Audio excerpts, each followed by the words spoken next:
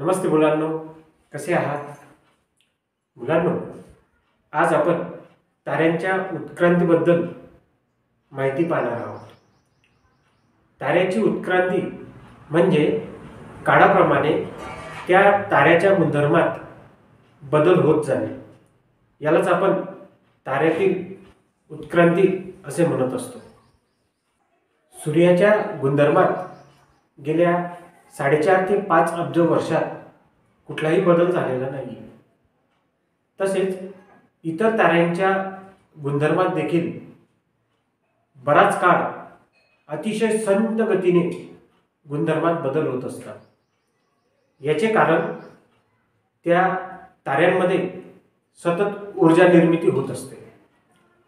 जोपर्यंत ताऱ्यातील गुरुत्वीय बल व तप्त वायूचा दाब हे दोन्ही बाजूला समतोल असेल तोपर्यंत ताऱ्याचे स्थैर्य हे टिकून असते. ताऱ्याचे स्थैर्य टिकवण्यासाठी त्या ताऱ्यामध्ये ऊर्जा निर्मिती ही निरंतर असली पाहिजे व त्या ऊर्जा निर्मितीमुळे ताऱ्याचे तापमान हे स्थिर असते. जोवर ताऱ्याचे तापमान स्थिर आहे तोपर्यंत त्या ताऱ्याचे स्थैर्य टिकून असते. ह्या ताऱ्याचे तापमान स्थिर राहण्यासाठी त्या ताऱ्याच्या केंद्रामध्ये असलेले इंधन हे जळत राहणे व त्याच्यातून ऊर्जा निर्मिती होत राहणे ही प्रक्रिया जोपर्यंत सुरू आहे तोपर्यंत त्या ताऱ्यांच्या गुणधर्मात कुठलाही बदल घडून येत नाही.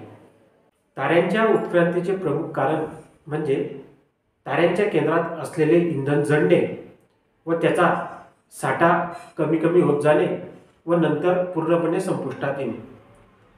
ऊर्जा निर्मिती ही बंद झाल्यामुळे त्या ताऱ्याचं तापमान कमी होऊ लागते व त्या ठिकाणी तप्त वायूचा दाब हा तापमान कमी झाल्यामुळे कमी होतो व केंद्रातील गुरुत्वीय बल हे वाढत जाते.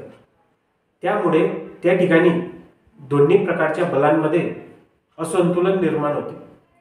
व ताऱ्या त्या ताऱ्याचे स्थैर्य जाऊन तो तारा आकुंचन पाहू लागतो.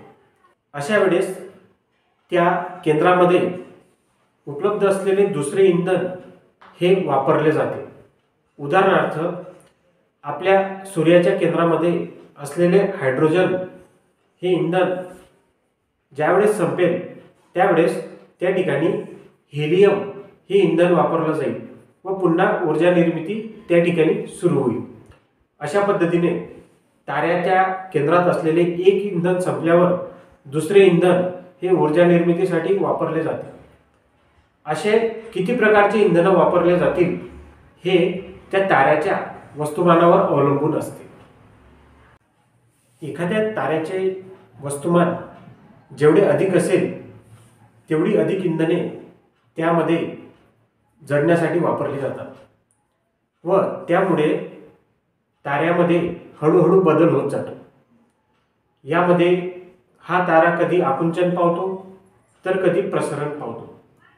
अशा पद्धतीने ताऱ्याच्या अवस्थांमध्ये वेगवेगळे बदल हे निरंतर घडून येतात व त्यालाच आपण ताऱ्याची उत्क्रांती असे म्हणत असतो.